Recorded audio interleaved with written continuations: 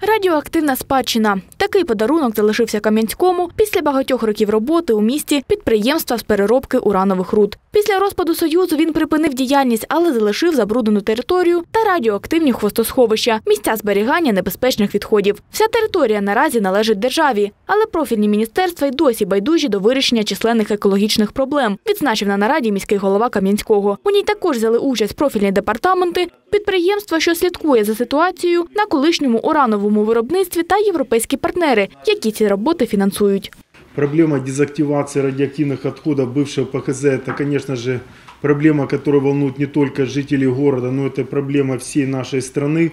Мы неоднократно со своей стороны поднимали вопрос на уровне первых лиц государства о необходимости в полном объеме финансировать государственные программы, которые должны помочь в дезактивации всех этих отходов. За десятки років в ярах, балках, а також на поверхні терасі річки Дніпро ПХЗ накопичив мільйони тонн небезпечних відходів. Обслуговування цих хвостосховищ справа складна і дорога. Для догляду за територією та забезпечення захисту населення створили державне підприємство Бар'єр. Проте наразі його робота під загрозою. На балансе нашего предприятия 9 хвостохранилищ и 13 зданий, э, которые участвовали в бывшем урановом цикле Приднепровского химзавода.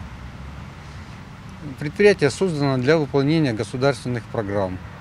Это целевые экологические программы.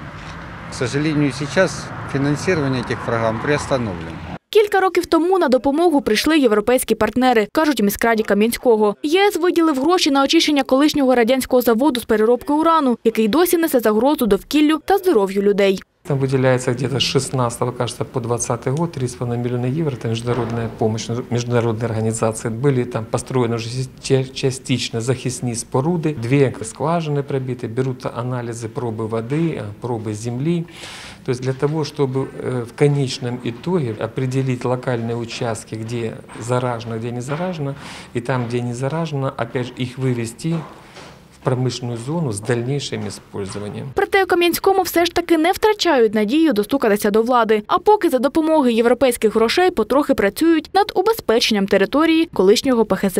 Ця територія вона відноситься до державної форми власності, і незважаючи на це, дуже вкрай обмежені можливості міської ради щодо контролю за цією е, територією, щодо фінансування заходів. Ситуація і питання екології це питання майбутнього як мешканців міста, так і взагалі нашої держави. Дар'я Пшенична, Євген Коденцов, Open News, телеканал відкритий.